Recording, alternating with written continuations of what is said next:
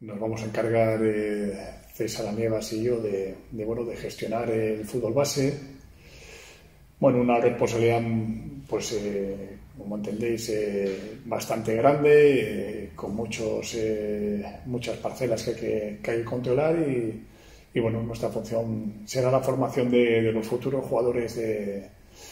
bueno, que, bueno, que en un futuro eso pues formen parte del primer equipo de RACE, ¿no? Pues en este momento y con la gente que, que está empezando a,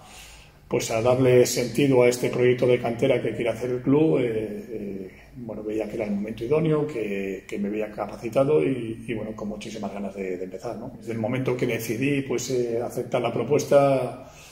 pues eh, me viene el recuerdo de cuando era yo, cuando yo era un niño, cuando firmé por el Racing, que venía de, de del Van Sander y y sobre todo la primera vez que, que llegué al, a las instalaciones, ¿no? Eh, han cambiado muchísimo desde aquello. El primer coordinador o el único coordinador que tuve que fue Santiago Gutiérrez, que, que bueno, que fue una referencia para todos, para todos los niños y,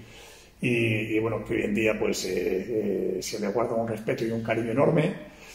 y lo que significaba pues, eh, pues entrar al Racing eh, la primera vez, eh, ese sueño que tiene cualquier niño de Cantabria de, de vestir la camiseta del, del, Racing y de, bueno, de soñar en algún momento por,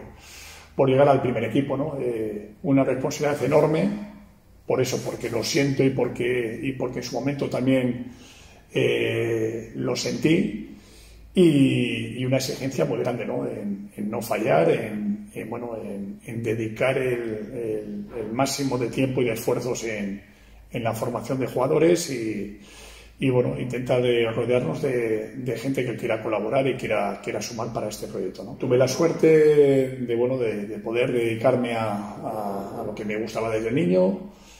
eh, pero también eh, tengo la experiencia de, como te digo, de, haber llegado un día a las instalaciones del, del Racing, de haber compartido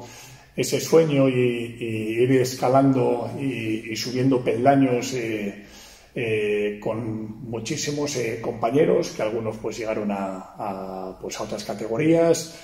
otros se quedaron por el camino pero con los que bueno eh, seguimos compartiendo el, el nexo de, de, de, bueno, que, que, nos da el fútbol y bueno pues eh, la verdad que esa experiencia es la que hay que eh, poner en práctica y, y trasladar al a los eh, niños que, que, lleguen por primera vez al RACE, ¿no? que tengan esa ilusión, que, que tengan esa exigencia con, ellos mismos, pero sobre todo que disfruten de, bueno, de, de, del tiempo que vayan a estar, que se vayan formando y poder ayudarles en, en eso, en detectar eh,